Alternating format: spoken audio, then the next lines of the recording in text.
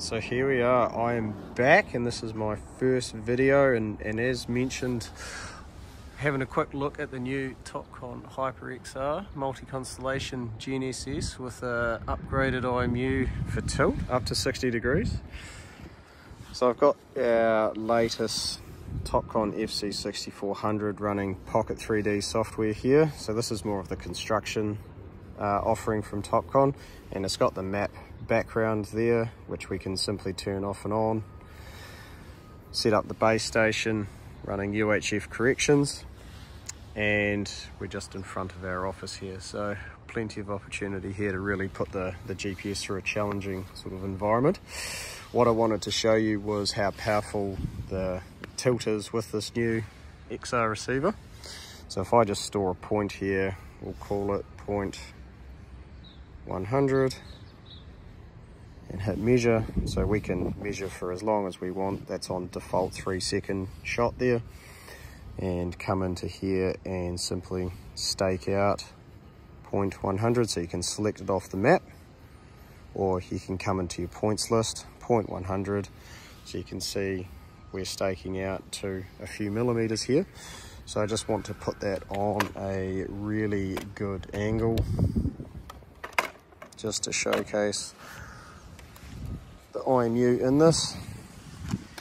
And as you can see we're still staking out to a few millimeters. So we're on about a 45 degree angle there. This will do up to 60 degrees.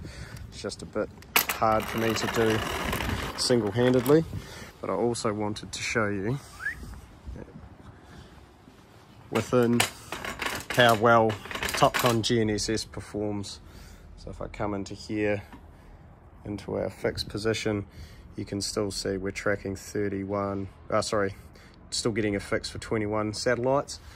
And uh, we're probably in one of the more worse environments you can put a GPS and it's still initialized and fixed. So very, very powerful GNSS engine in these things. Very impressed with the, the tilt capabilities and repeatability, uh, having the first play in the field. So these come with one watt radios in them for base station. You can use it as a base or as a rover. You can hook it up onto the network as well.